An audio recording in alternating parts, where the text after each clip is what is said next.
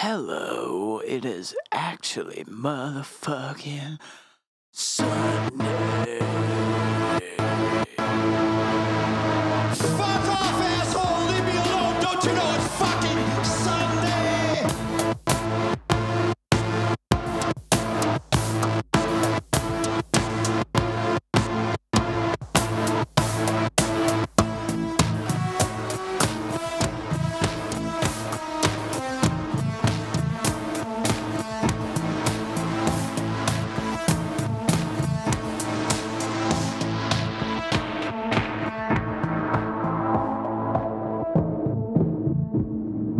All right.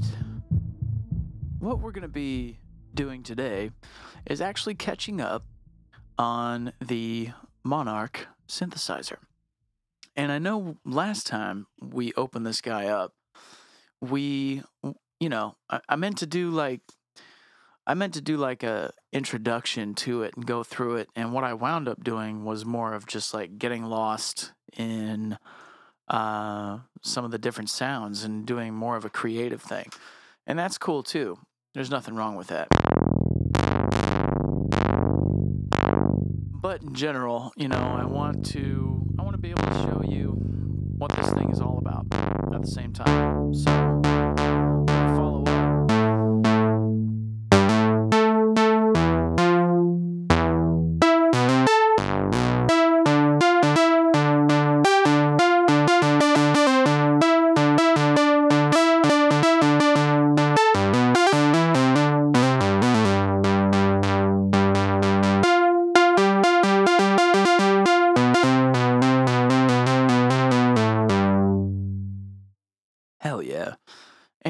what I'm going to do is just start by kind of explaining all the different sections. And it's great to start out on the user bank and the initial patch because it just has one thing turned on. Just a basic pulse wave. nothing real fancy, nothing real fancy. And here is the here's the octave uh, that controls the entire synthesizer.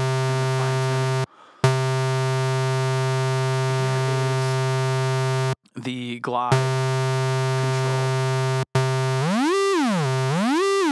So whether or not it glides up to the next note.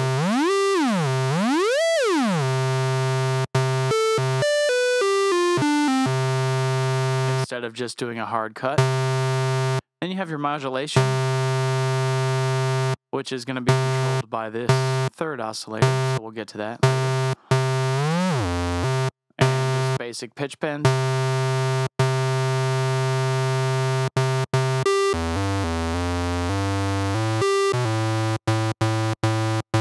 So let's listen to some of the different sounds. It's the basic sine. It's a little bit of a triangle in that in that sine. It's a full triangle. Different pulse, varieties. Here's the volume for this channel. There's a mute for that channel.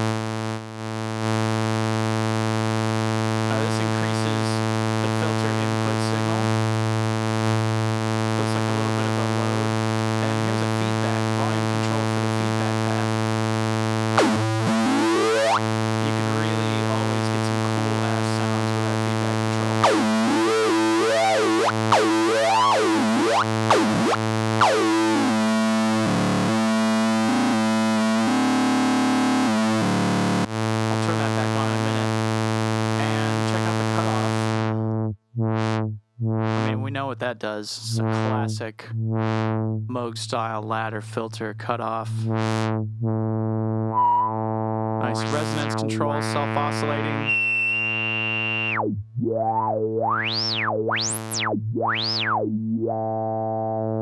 Do a video one day where we just uh, turn that into an 808.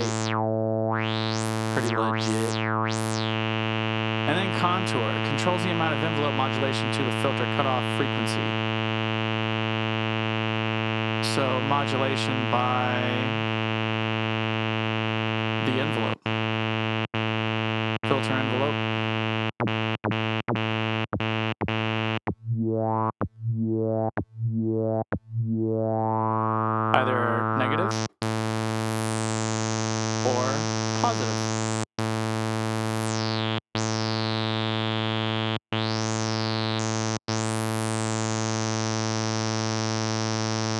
Adds one third key tracking to filter cutoff frequency. Ooh. Key T1 or 2 while active, the filter receives 100% of keyboard pitch information.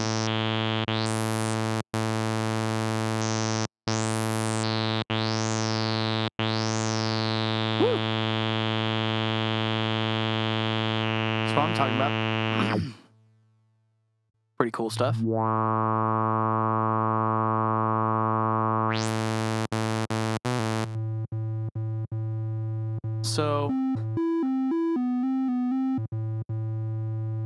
Let's mix a couple of different sounds. So now if we bring in oscillator 2.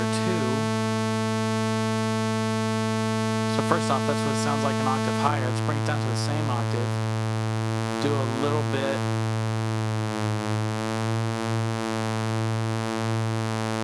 Just fatten it up a little bit with a little tiny pitch bend. It into your heart's content. You can make the sine louder, make the triangle softer, make the sine softer, make the triangle louder, you know, whatever you want to do.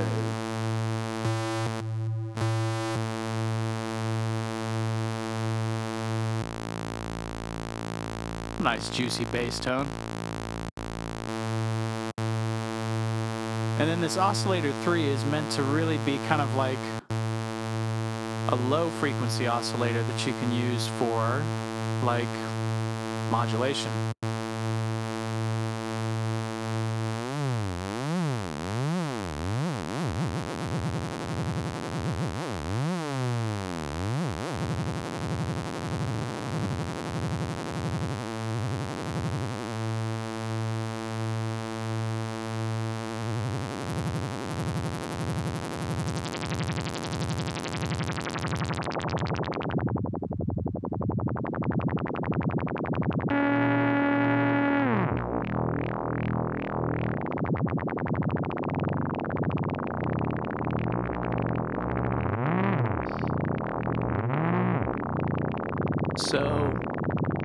I think you can use it as a sound source too, but the coolest application of this guy. In fact, I don't even know if you can use this as a sound source. It says volume control. Controls tuning. I mean, I assume you can. I assume we're hearing it to some extent. But right now, what I'm really doing is using it to control the modulation, which I can say I can turn on or off with the mod wheel mod wheel mood. And I can mix between having it controlled by the noise oscillator as well as just oscillator 3. Which is pretty badass as well.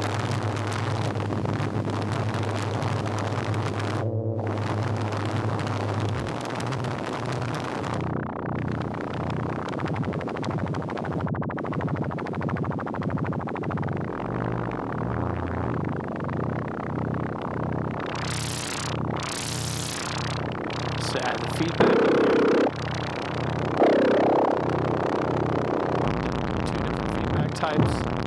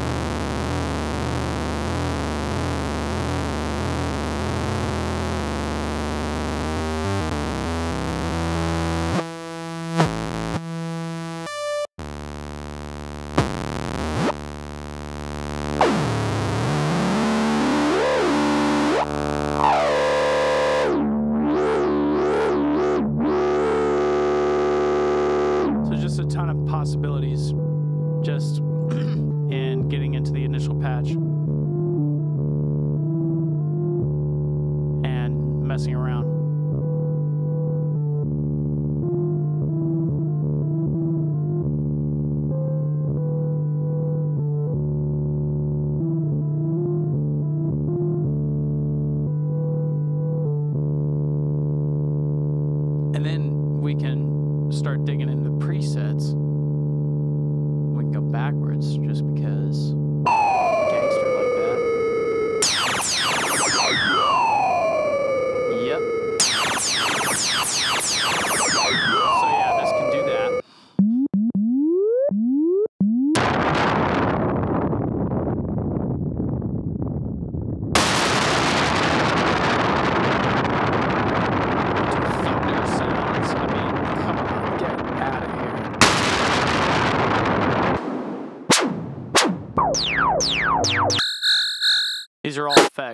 if you couldn't tell.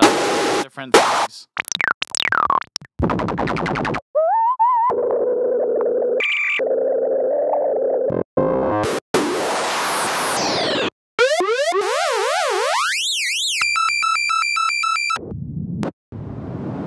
Mars Wind. That's pretty sweet.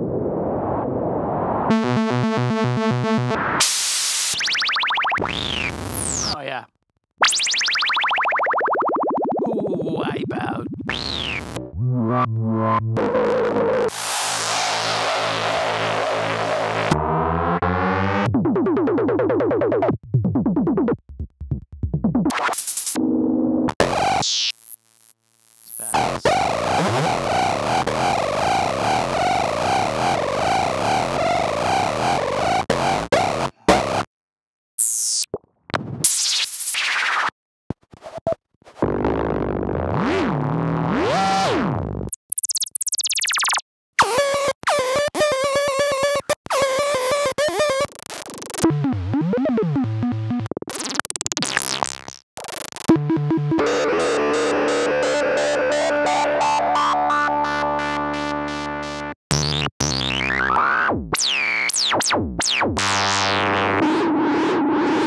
sorts of different sounds. That's all the effects. Getting into percussion.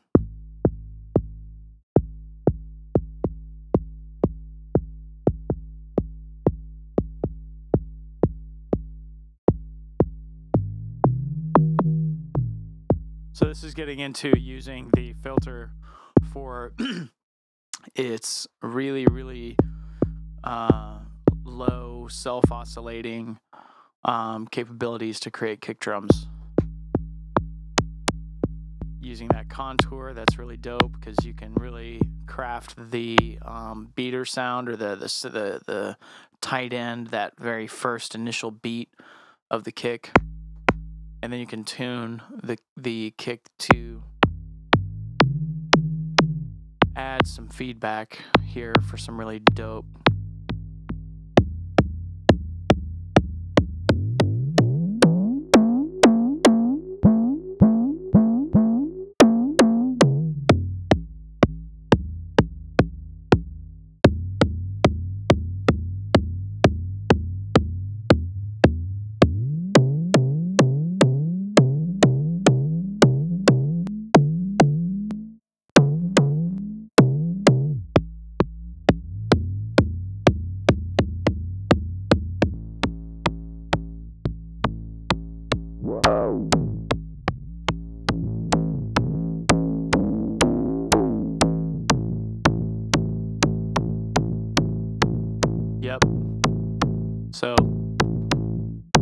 mess around with stuff too, and I mean, just get some really cool sounding shit.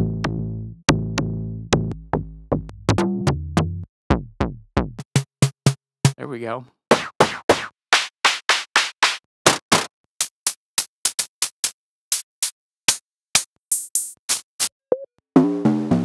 Yeah, all these all these drum sounds are pretty damn cool.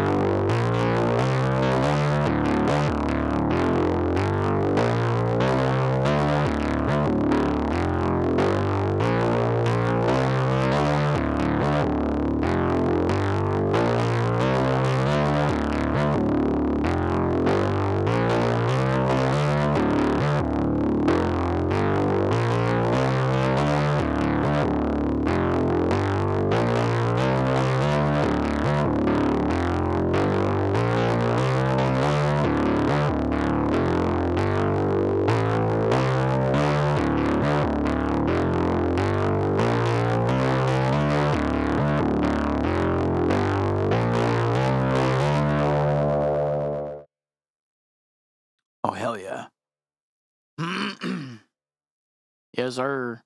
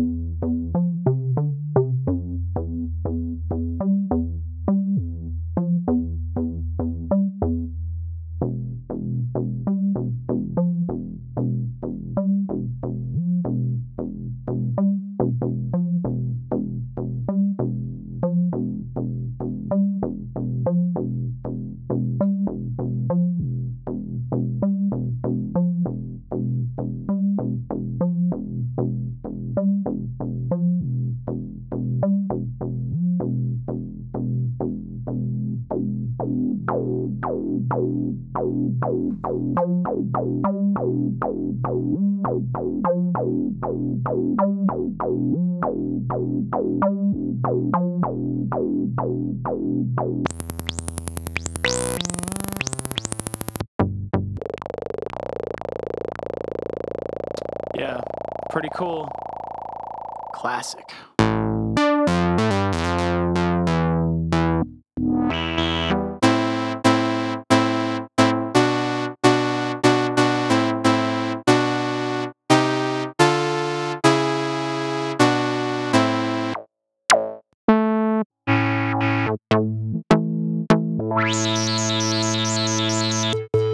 Been through most of these already. I don't think we checked out the leads yet.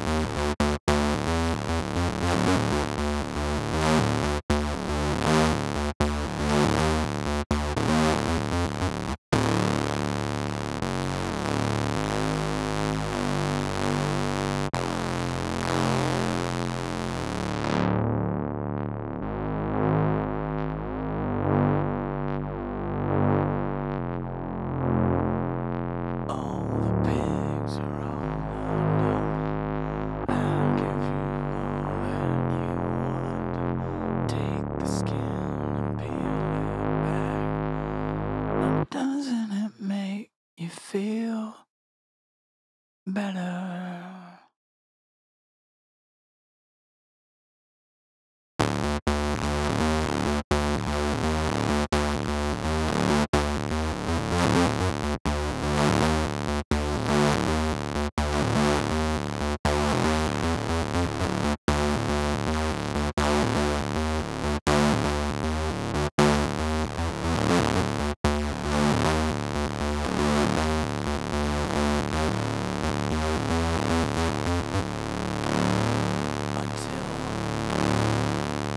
next.